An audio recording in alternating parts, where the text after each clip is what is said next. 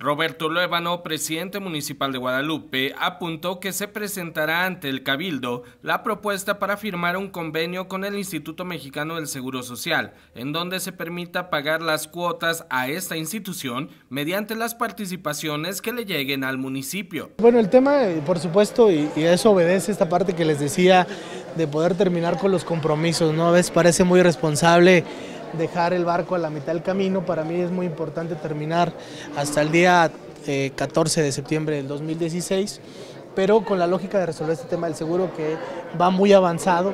Eh, justamente ayer lo saludé al nuevo delegado Sergio Sertuche. Este, obviamente soy el principal eh, deudor del IMSS, ya, me conocía, pues aunque sea de nombre, pero vamos muy avanzados. La gestión que está haciendo la diputada Claudia Naya ante la Secretaría de Hacienda, que es ahí donde estamos verdaderamente negociando el tema de los recursos, va muy avanzado.